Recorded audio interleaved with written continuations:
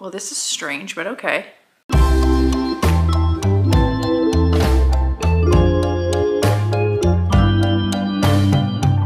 Hey everybody, welcome back to my channel. I'm in a little bit of a different spot today because my bookshelves are curing. If you missed my last videos, uh, I am doing a massive bookshelf makeover. I'm looking at it right now and I'm just like so happy for it. But now is the hard part. I have to wait. I have to wait before I put all of these books on those shelves. So while I'm waiting, I figured I would do this video. If you saw the title, this is going to be the 15 books that define my taste. I saw Jessica from Peace Love Books do this um, and a lot of others on Instagram, but I saw she did the video, so I'll tag her.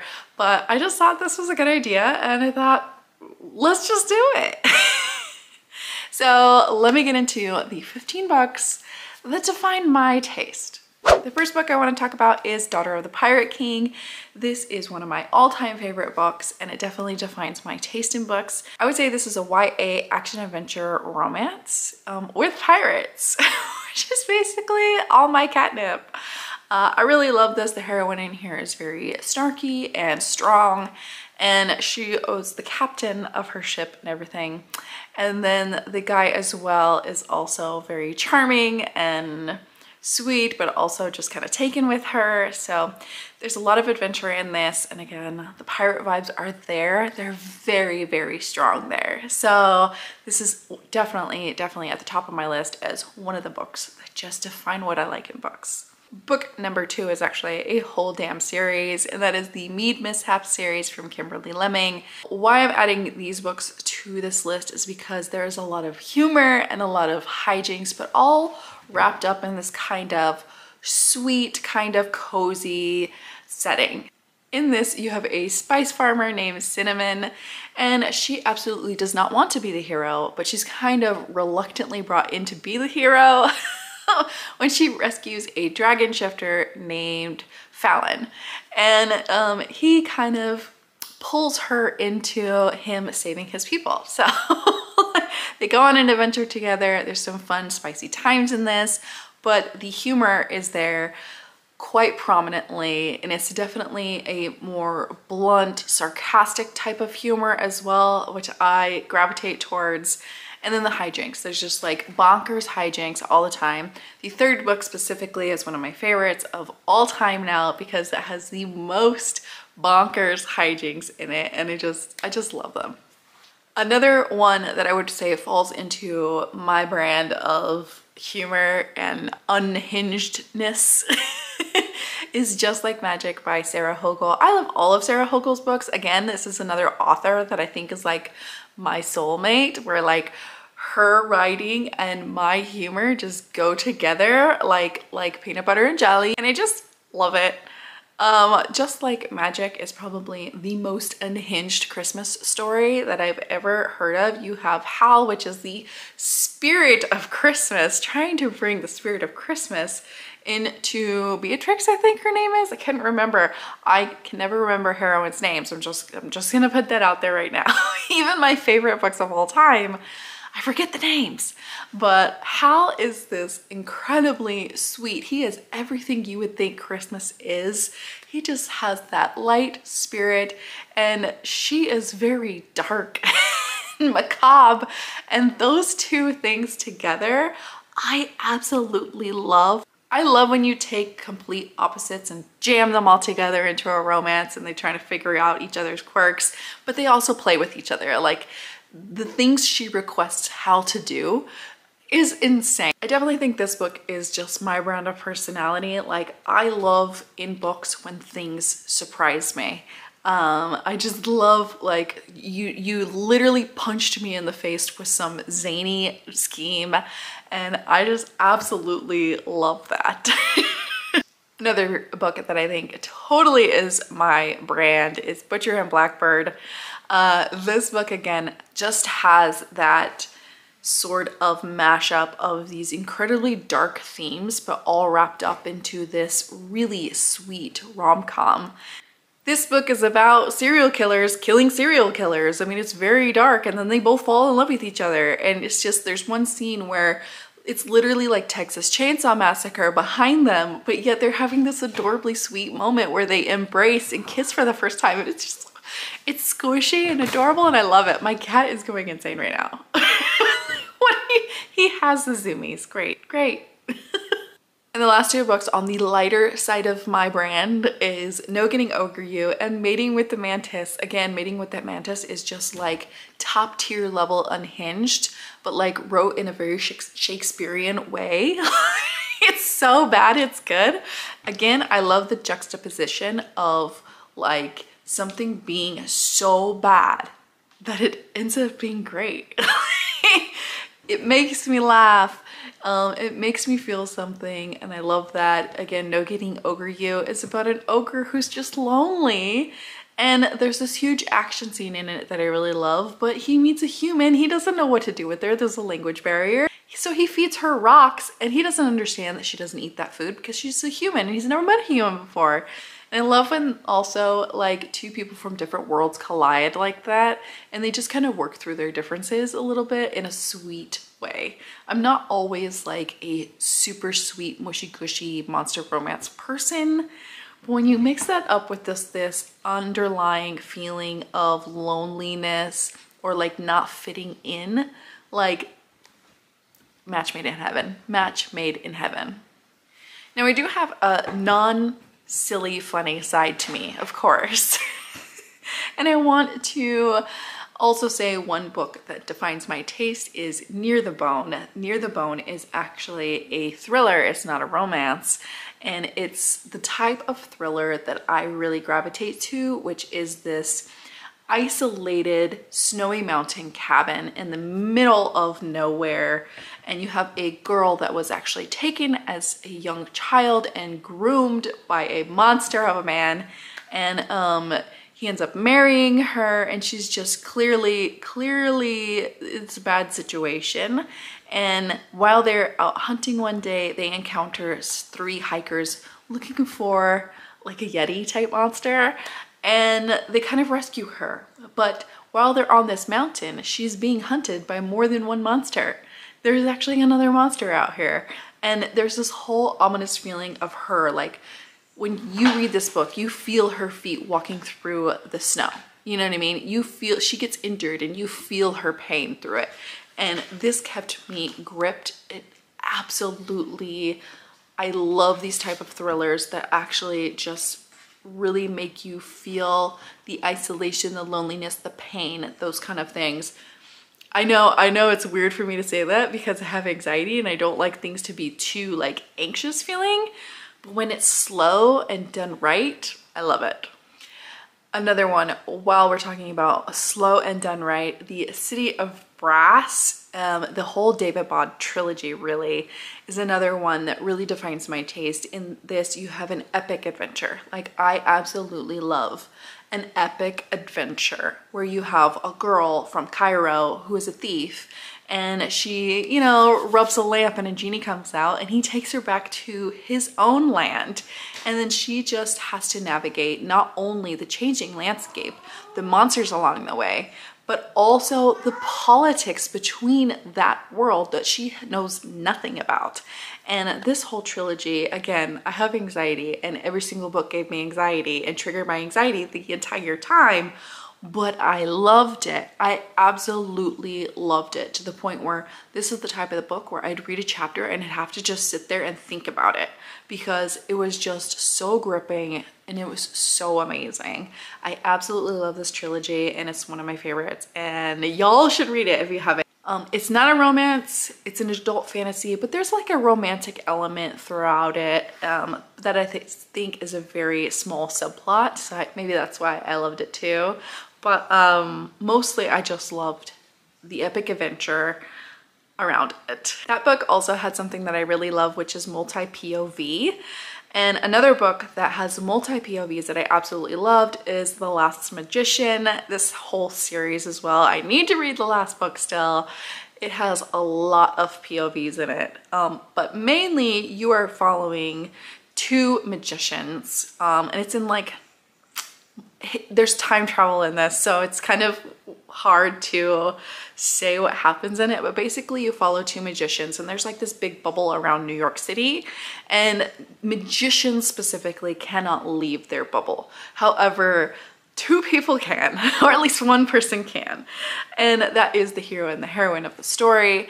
Um, this has like almost like gangs in it, like New York gangs type of thing. There's time travel throughout the series. Um, there's a lot of magic happening. I wouldn't, I don't know if I would call it magical realism, but I guess so. But oh, it's just, it's so, so good. This is a, I think it's a YA series, but I would say upper YA.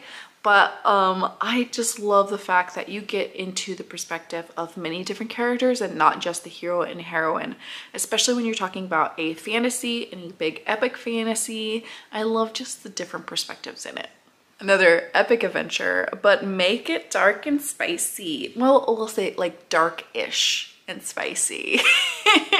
A Ship of Bones and Teeth is definitely my brand of personality. Not only is this pirates, okay, pirates, but um, there is also this magical side of it with this being a dark kind of Little Mermaid retelling. Uh, the Little Mermaid, she made her wish with the sea. Oh, my legs are already hurting from sitting on the floor. Great. Uh, Ariel in this, which her name is not Ariel, her name is Marin. Uh, Marin made her wish to the sea goddess, got it, married the prince. However, after 10 years of abuse from this prince, she wants out. She wants to go back home. And in order to do that, she needs to team up with a pirate. This does have one of my favorite things, which is a microtrope in fantasy. I can't say what it is because it is a spoiler, but I will say when this happens, I'm just like, yes, yes. Everything about this book is visual. It's again, high adventure, high fun, high steam. Everything about this is monstrous in a way, and I really love that as well. I'm gonna say a lot of pirate books are on here because I just love pirates, but this one also involves spies. And this is a brand new all-time favorite, which is Any Duke in the Storm by Amalie Howard. The heroine here is actually a spy, but she's undercover as a pirate. And boy, is she a badass. She is the baddest pirate ever. And I absolutely loved it. I love a good, strong, fierce heroine. Also, this heroine is um, very fluid with her sexuality and she's not like this virginal character in historical romance like you would usually get but she also is just snappy with the hero and the hero takes it like he matches her like move for move um in this one again epic adventure high seas action in this but also like going from port to port doing things as well uh, I just really love that kind of like almost road trip aspect of books. Those are, I love road trip things in books. One horse, one bed, those kind of things. Uh, forced proximity. This has it all. It's like a fantasy wrapped in a historical romance. It's great. Back to the lighter side, but again, kind of not as well. Like there's dark moments in this, but they're like playfully done. I have to talk about the Make Game series. Not only is this one of my newer favorite brands, which is Why Choose. I love Why Choose. but you have a girl who needs to save the world by getting with all these men. Please. And all the men in this are different, which is why I like this Why I Choose the most. They all have their different personalities. Two are vampires, but one is a daddy priest and he's Irish. That's great. Um, there's there's like a demigod in this and then what's the other one? A werewolf a werewolf. So you have and they all have their own personalities but also the men have a relationship with each other. Um not always a sexual one just like a friendship like a bromance if you will. And it just like the audiobook too. This is the level of audiobook that i want for all books I know that's a high bar because you can't have this dual narration audiobook every time, but this is done so stunningly well that it just keeps you entertained and engaged the entire time. And this is a four book series. Like this is a four book series. And when I want to binge a four book series, which never happens, I never binge a series, uh, you know it's good Another series that I'm absolutely feral for the next book right now is A Crown of Oaths and Curses. You have heard me talk a lot about this book lately because it needs it, okay? You're talking about two people from opposite sides of the world who absolutely hate each other. However, they're fated mates. So they kind of have this underlying tension the whole time. And I would say I don't normally subscribe to a slow burn. I am not a slow burn person, okay? I don't necessarily want things happening on the first page, but I want like an adequate amount of burn here. And this is sometimes a little too slow for me. However, in this book, this book, it works because that tension is there from page one. So you have a girl who is a witch and she knows her fate. She knows she is fated to marry this Fey prince.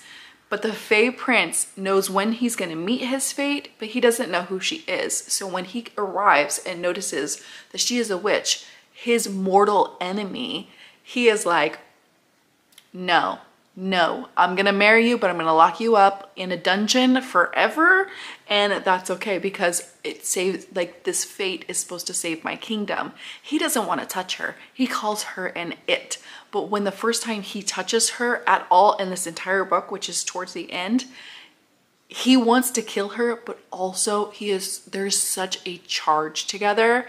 That is what makes a good slow burn that is what makes a great slow burn, I would even say.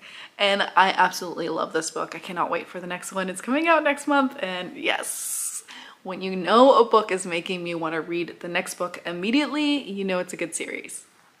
Two books left. Um, the first one I want to talk about is Foundryside. This again is not a romance. This is an adult fantasy and it's surrounding this magical world where the heroine can speak to objects. And in this object, you mainly deal with a key.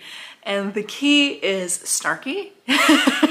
this has a very, very new and intricate magic system in it where she can talk to objects and convince them to do her bidding. Also in this book is one thing I absolutely love, which is a heist. I love a good heist. I love a good multi-character heist with strong side characters, which is what the key is.